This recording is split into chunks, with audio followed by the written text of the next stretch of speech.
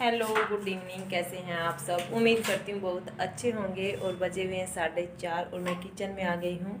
और किचन को इतना ज़्यादा मेसी कर रखा है, इसको समेटती हूँ और आज मेरा फास्ट है।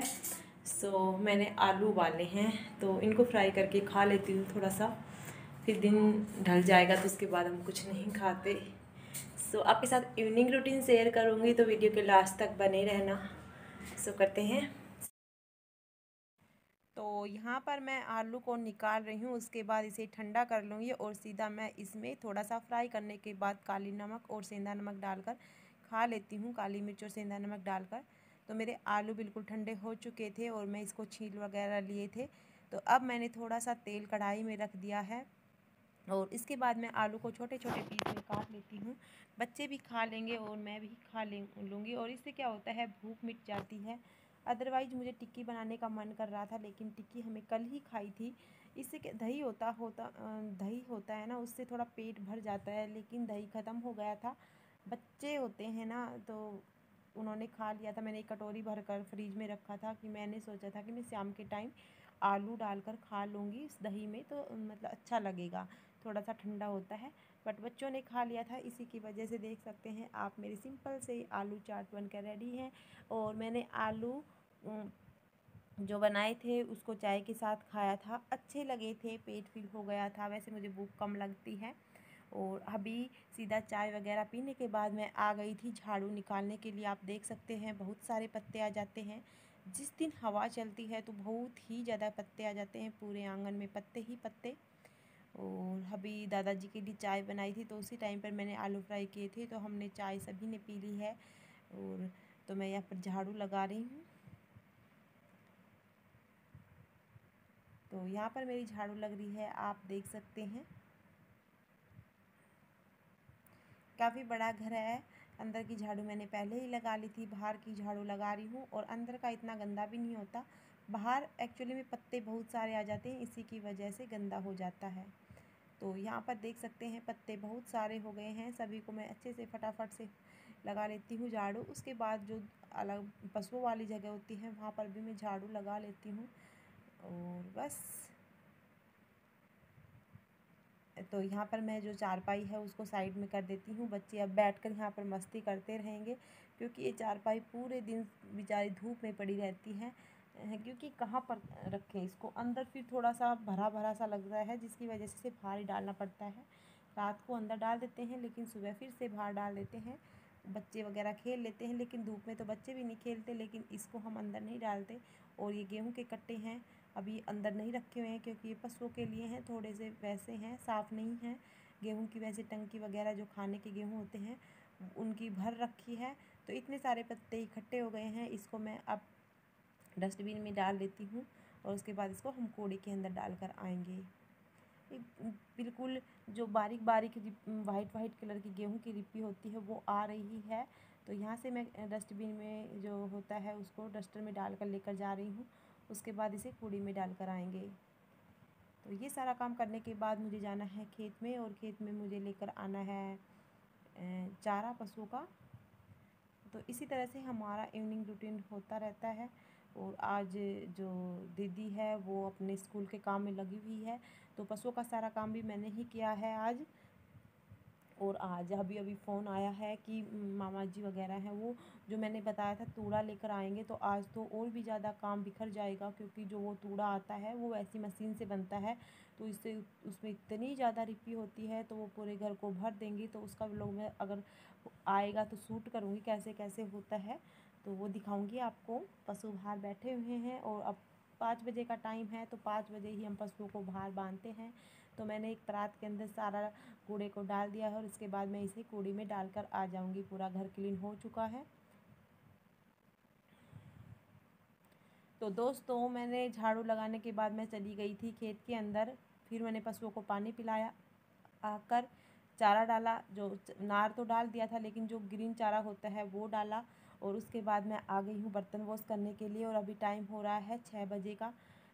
हम खेत के अंदर जाते हैं तो मेरे को पंद्रह मिनट लग जाते हैं। दो तीन एकड़ ज़मीन को क्रॉस कर कर जाना पड़ता है, सड़क पार कर कर। तो मुझे पंद्रह से बीस मिनट लग जाते हैं। चारा काटने में टाइम नहीं लगता, लेकिन आने जाने में थोड़ा सा टाइम लग जाता है। और उसके तुरंत आने के बाद मैं यहाँ पर बर्तन वॉश कर रही हूँ। बर्तन काफ़ी ज़्यादा हो जाते हैं। बच्चों के स्कूल के टिफ़न और उसके बाद ये मैंने अभी आलू को फ्राई किया था तो उसके भी बहुत सारे बर्तन हो जाते हैं। तो कोई भी चीज़ घर में बनती है तो बर्तन तो होते ही हैं। तो हम बर्तन ऐसे ही बाहर बैठ कर वॉश करते हैं सिंक वगैरह में बर्तन वॉश नहीं करते। वैसे बाहर बैठ कर जल्दी हो जाते हैं सिंक बस सिंक का एक बेनिफिट ये होता है कि जब भी आपके दो या तीन बर्तन हो तो चाय वगैरह बनाते टाइम ही आप उन्हें वॉश कर लेते हैं। लेकिन हमारे यहाँ पर क्या होता है कि एक बार सुबह वॉश होते हैं, एक बार शाम को वॉश होते हैं और एक बार रात को वॉश किए जाते हैं और एक बार बीच में तो चार बार बर्तन और वो भी मैं भर भर के टोकरे वॉश करती हूँ क्योंकि हमारा फैमिली काफ़ी बड़ा है। और बैठ कर ही वॉश करती हूँ। सिंक में बड़े वगैरह, जो बड़े बड़े बर्तन होते हैं, वो अच्छे से वॉश नहीं होते। बाहर बैठ कर अच्छे से वॉश हो जाते हैं। बस ये चीज़ बेनिफिट होती है इनकी। और पानी वगैरह की कोई भी कमी नहीं है। पानी खूब है। अभी ताज़ी पानी आ रहा था तो उससे मैंने बाल्टी को भर लिया था। और यहाँ पर मैं फटाफट से बर्तनों को साबुन लगाई और मेरी बेटी इधर उधर घूम रही है। चप्पल पहनाती हूँ, तभी निकाल कर पता नहीं कहाँ से और कहाँ चली जाती है। ये बस ऐसी ही है। तो ये हो गया है काम।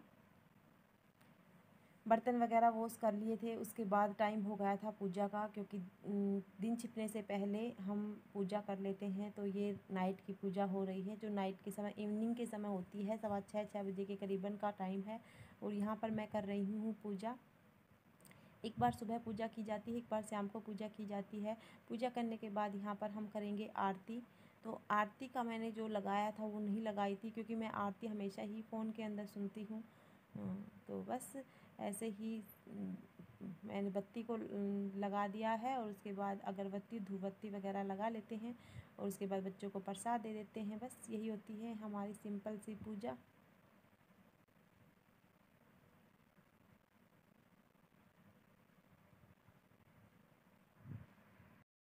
पूजा वगैरह हो चुकी थी और उसके बाद मैंने कहा था कि कपड़े हैं, वो बहुत ज़्यादा हो रहे हैं तो सुबह तो मैं नहीं कर पाई थी उनको टह तो अब मैं उनकी टह लगा रही हूँ और चारपाई के ऊपर आप देख सकते हैं, पूरे कपड़े ही कपड़े दिखाई दे रहे हैं तो इनको फटाफट से टह लगा देती हूँ बच्चों के कपड़े एक साइड में रखती जा रही हूँ, हस्बैंड के एक साइड में जिया जी के एक साइड में, दीदी के एक साइड में, चद्दर भी हैं तो उनको मैं सभी को अपने अपनी जगह पर रख देती हूँ और मेरे जो मेरे हस्बैंड के कपड़े हैं, उनको मुझे प्रेस करना है तो प्रेस करने के लिए मैं अलग साइड में रख देती हूँ।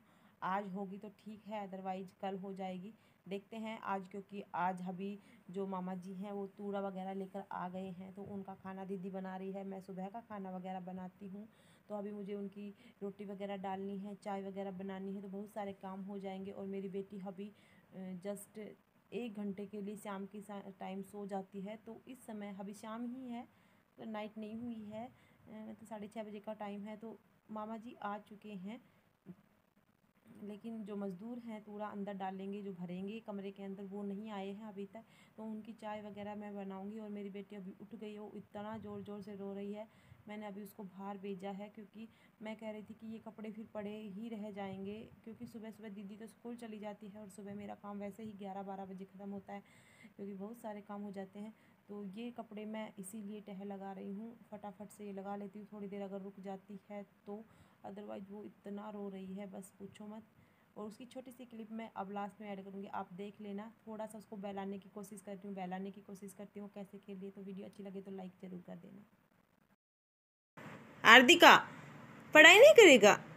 अरे फेस वॉश कर रही है। हैं? किसका है ये? किसका है? मम्मा का। किसका? मम्मा। हार्दिक, किसका है ये? किसका है? बताओ। लाओ, मैं बंद कर दूँ। ये ले ले। एलोवेरा ले ले। देखो एलोवेरा, कितना बड़ा वाला एलोवेरा रहा।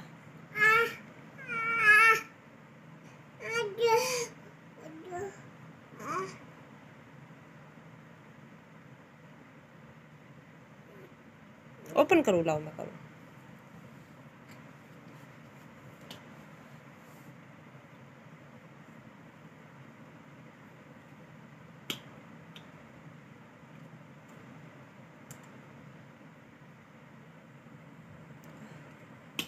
तो खिचड़ी नहीं खाएगी? खिचड़ी तो खा लो बाबू। थोड़ा सा खिचड़ी भी खा लो भाई।